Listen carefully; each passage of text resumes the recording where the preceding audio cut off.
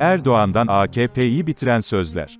Bu hükümete kim güvenir? Cumhurbaşkanı Erdoğan yıllar önce söylediği sözlerle son yıllardaki kendi icraatlarını eleştirirken, böyle bir hükümete kim güvenir, sözleriyle adeta AKP iktidarını yerden yere vurdu.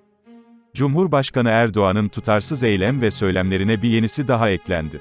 Erdoğan 20 yıl önce iktidarın hatalarından bahsederken yaptığı eleştirileri şu sıralarda kendisinin ve AKP hükümetinin yapması dikkatlerden kaçmadı. Böyle bir hükümete kim güvenir? Cumhurbaşkanı ve AK Parti Genel Başkanı Recep Tayyip Erdoğan partisinden ayrılarak başka parti kuran isimlere, onlar o makamlara kendi layık oldukları için gelmediler.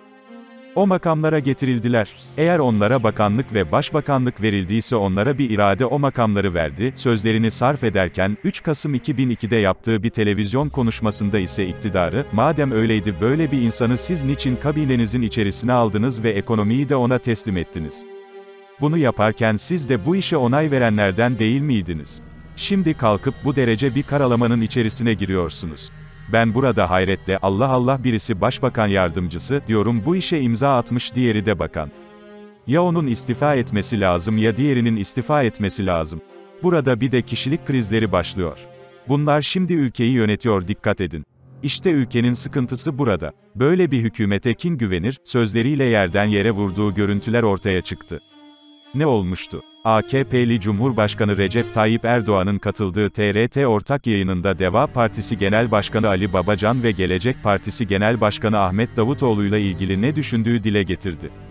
Yayında ilgili soru, Erdoğan'a AKP'ye yakın Sabah gazetesinin yazarlarından Okan Müderrisoğlu tarafından geldi. Müderrisoğlu'nun, bir dönem sizinle yol yürüyen ve önemli makamlara gelmiş isimler ve ayrı partiler kurdular. Geriye dönüp bakınca onlar için bir tanımınız ya da değerlendirmeniz oluyor mu zaman zaman diyerek yönelttiği soruya, AKP'li Cumhurbaşkanı ise Davutoğlu ve Babacan'ın layık olmadıkları halde o makamlara getirildiğini belirterek yanıt verdi. Onu onların düşünmesi lazım. Onların nasıl ihanetin içerisinde olduklarını kendilerinin düşünmesi lazım.